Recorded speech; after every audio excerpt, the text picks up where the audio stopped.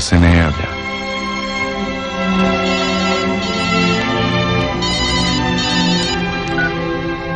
Molim. Ne mogu sad. Sutra. I kada se javi. S'il vous plaît, mademoiselle, c'est. Kad tražite vezu sa svetom, Rade! Odobrana ti je stipendija. Paris!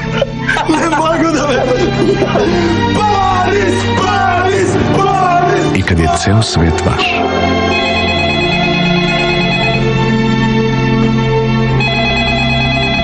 Kada odlazite,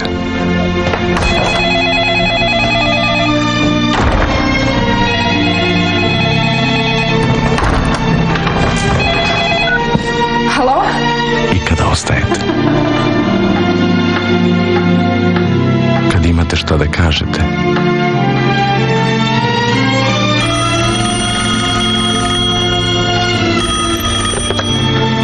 Alo?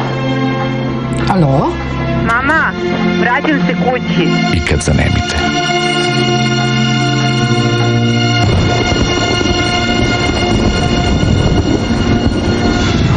Kada trenutak traje večnost.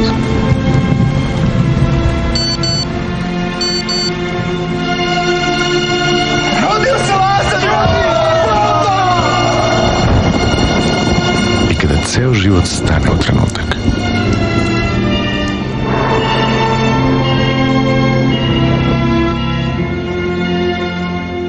Kada se borite.